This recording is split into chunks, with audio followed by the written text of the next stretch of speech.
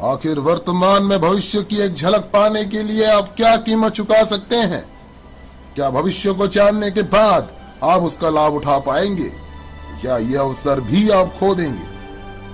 Stock जो आप बेच ना सके, वो ज़मीन जो आप खरीद ना सके, वो अवसर जिसका आप लाभ ना उठा सके, और ऐसे कितने अवसर आपकी ज़िंदगी में दस्तक देने वाले हैं? ये आपका आखिरी अवसर भी हो सकता है। इसलिए ध्यान दीजिए। हर दशक में एक बड़ा परिवर्तन आता है। 1970 में वीसीआर 1980 में पर्सनल कंप्यूटर 1990 में इंटरनेट जिन्होंने 80 के दशक का फ़ायदा उठाया, वे मिलेनियर्स बने। जिन्होंने 90 के दशक का फ़ायदा उठाया, वे बिलियनर्स बन गए। अब आप क्या सोचते हैं? क्या होगा आने वाले सालों में? दुनिया के मशहूर इकोनॉमिस्ट पॉल जैन पिल्जर का कहना है कि आने वाले दशक में सालाना एक ट्रिलियन डॉलर वेलनेस इंडस्ट्री पर खर्चा जाएगा।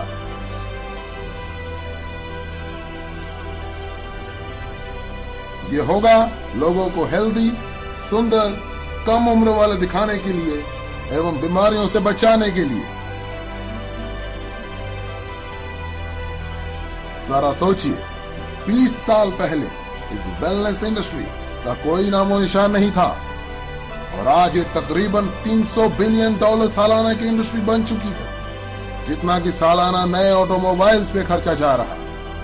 आज 300 बिलियन डॉलर और इस दशक के अंत में एक ट्रिलियन डॉलर यानी एक हज़ार बिलियन डॉलर सालाना। जरा गणित लगाइए, ये 300 परसेंट ग्रोथ है। आखिर ऐसी ग्रोथ कैसे मुमकिन है? ऐसी ग्रोथ कैसे सोची जा सकती है? इसका जवाब है बेबी बूमर्स ये बेबी बूमर्स पिछले 20 सालों से दुनिया की अर्थव्यवस्था को दिशा देते आ रहे हैं। क्या समय नहीं आया कि हम इसका लाभ उठाएँ? ये वे लोग हैं जो 40 से 50 साल के उम्र के होते हैं और अपने कमाने के चरम उम्र में होते हैं। ज़्यादा पैसा कमा के ज़्यादा खर्च करने की शक्ति रखते हैं। ये जिम्मेवार है हाउसिंग ऑटोमोबाइल्स कंप्यूटर्स और इंटरनेट के क्षेत्र में विकास के लिए। संक्षेप में कहा जाए तो ये लोग देश की अर्थव्यवस्था के 12 ट्रिलियन डॉलर में से 6 ट्रिलियन डॉलर अपने जरूरतों पर खर्च करते हैं। हालाँकि जनसंख्या के 30 प्रतिशत से भी कम है, लेकिन अर्थव्यवस्था के जीडीपी के 50 प्रतिशत हिस्सा है। और अब ये जोड़ने जा रहे हैं और एक ट्रिलियन डॉलर उस 6 ट्रिलियन डॉलर की अर्थव्यवस्था में। अपने सबसे अनमोल धरोहर को बचाने के लिए जो है यौवन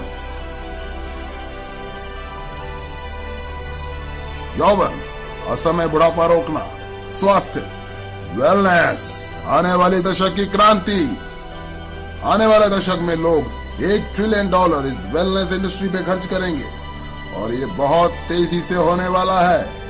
जो बदलाव पहले दशकों में हुआ करते थे, आज कुछ चंद वर्षों में या उससे भी कम समय में हो जाया करते हैं। जब 1908 में हेनरी फोर्ड ने मॉडल टी फोर्ड का आविष्कार किया था तब ऑटोमोबाइल इंडस्ट्री को एक ट्रिलियन डॉलर इंडस्ट्री बनने के लिए सत्तर साल लगे थे। उन्नीस में जब आईबीएम ने पहले पर्सनल पीसी बाज़ार में छोड़े तो महज एक दशक में ही ऑटोमोबाइल की सेल को बचाड़ दिया और एक ट्रिलियन डॉलर इंडस्ट्री बन गई।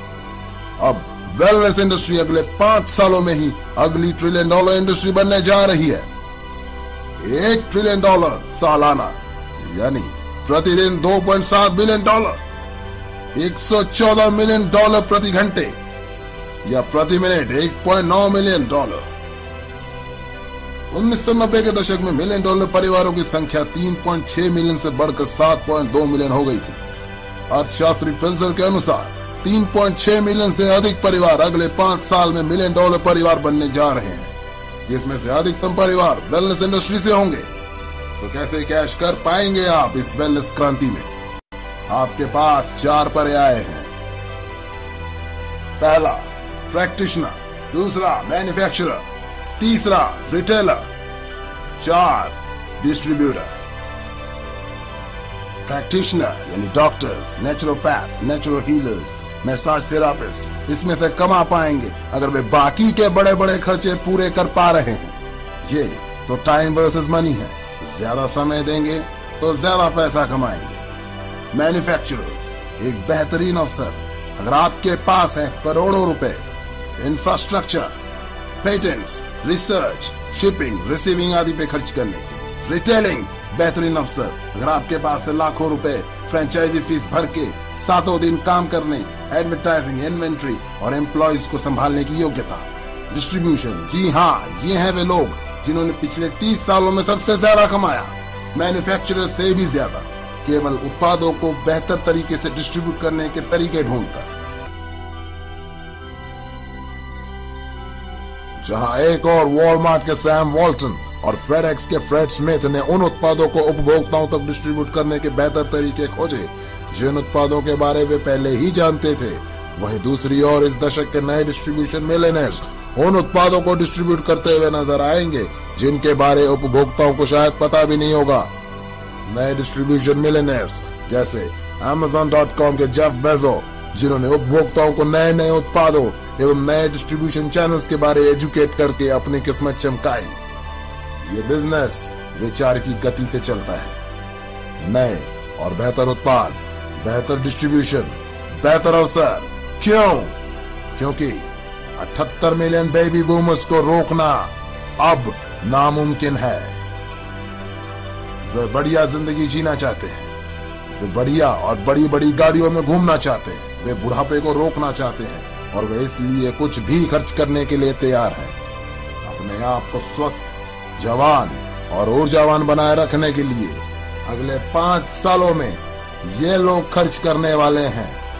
300 बिलियन डॉलर से एक ट्रिलियन डॉलर हर साल। क्या आप तैयार हैं इस बहती गंगा में हाथ धोने के लिए? जिस शख्स ने आज आपको वेलनेस इंडस्ट्री से रूबरू करवाया है, वे आपकी मदद कर सकते हैं ऐसे बिज़नेस मॉडल में, जो ऑलरेडी सक्सेसफुल और प्रूवन है।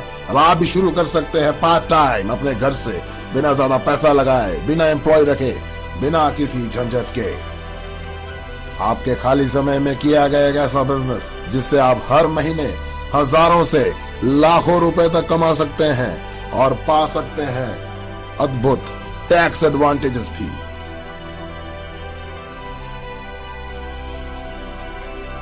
महसूस कीजिए कि ये उन्नीस सौ अस्सी है और 25 वर्षीय बिल गेट्स भविष्य में कंप्यूटर के क्षेत्र में अपार संभावनाओं से आपको अवगत करा रहे हैं और आपको अपना पार्टनर बनाना चाहते हैं तो क्या अब आप इस प्रस्ताव को ठुकरा पाएँगे? सैम वॉल्टन ने वॉलमार्ट की शुरुआत तब की जब वे चौवालीस साल के थे और इकसठ साल की उम्र में वे दुनिया के सबसे अमीर व्यक्ति बने। तो अब कौन सा बहाना बनाएँगे आप? एक बात तो तय है, अगर आपने इस वीडियो को गंभीरता से देखा है तो आप अपने आने वाली पीढ़ियों को यह नहीं बोल सकते कि आपको पता नहीं था। जब आपके बच्चे और पोते आपसे इक्कीसवीं सदी की महान क्रांति के बारे में पूछेंगे तो आपके पास में क्या जवाब होगा? कि आप अपने वक्त के सांचे में ढलकर अवसर का पूरा लाभ उठाने की गाथा उन्हें सुनाएँगे, या तरह तरह के बहानों से अवसर खो देने की सफ़ाई देंगे। आंकड़े सही है। रुझान सही है, वक्त सही है। और ईश्वर कितने अवसर आपकी झोली में डालेगा। कुछ भी करिए दोस्त, लेकिन ये अवसर हाथ से मत जाने दे।